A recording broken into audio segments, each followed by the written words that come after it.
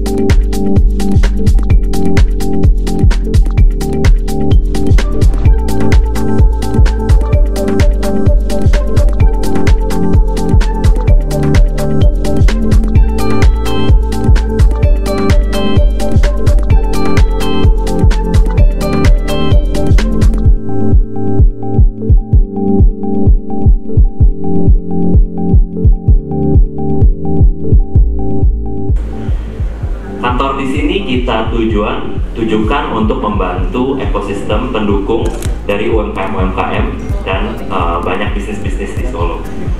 Saya percaya pertumbuhan ekonomi di Indonesia ini akan dimulai dengan pertumbuhan ekonomi di daerah dan tentunya bergantung pada salah satunya adalah UMKM dan satunya adalah penciptaan lapangan kerja.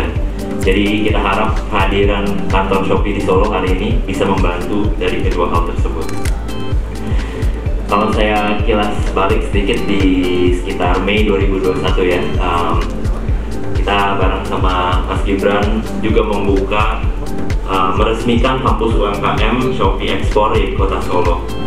Ya kampus itu dulu kita hadirkan karena kita melihat potensi UMKM dan penjual-penjual um, di kota Solo ini yang mempunyai kualitas yang baik dan sangat bersaing ya.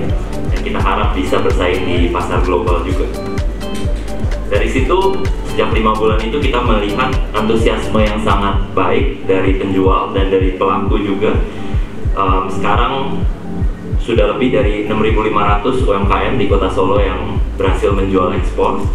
Uh, dan target kita tetap di 10.000 UMKM Solo di tahun ini untuk menjual ekspor. Ya karena itu kita melihat antusiasmenya juga kita ingin memberikan dukungan lebih ya bagi perkembangan Kota Solo ini melalui kantor Shopee Solo yang kita resmikan hari ini uh, bersama dengan Pak Gibran tentunya dan dukungan dari seluruh uh, tim di Solo.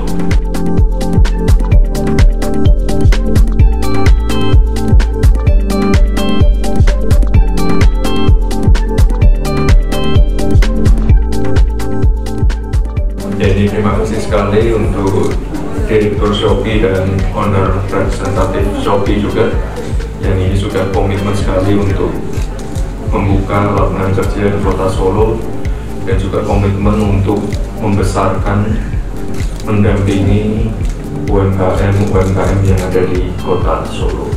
Tadi kita sudah office tour, kita bisa lihat sendiri uh, Shopee ini uh, dari pegawainya sendiri aja uh, didominasi oleh anak-anak muda ini luar biasa sekali. Dan tidak hanya berhenti di sini saja nanti di lantai dua juga ada office Shopee juga lalu juga ada juga nanti di Solo Technopark ini menunjukkan uh, komitmen itu sendiri dari Shopee untuk benar-benar uh, membesarkan UMKM-UMKM yang ada di kota Solo dan juga membuka lapangan kerja di kota Solo dukungan dari Pemkot Solo dan kolaborasi ke depannya nanti akan seperti apa? Ya itu tadi dari sisi regulasi eh, untuk kerjasamanya akan kami permudah semua karena ini sangat-sangat menguntungkan untuk eh, warga kota Solo. Eh, itu saja. Sejauh ini apakah sudah ada uh, impact yang sudah dirasakan oleh UMKM Solo? Ya sekali lagi kota Solo ini baru saja turun ke level 2 dengan capaian vaksinasi yang sudah di atas 120 persen. Ini saya rasa hari ini dengan pembukaan kantor Shopee ini momen yang sangat tepat untuk eh, bagaimana kita bisa bangkit dari pandemi dan melakukan percepatan pemulihan ekonomi.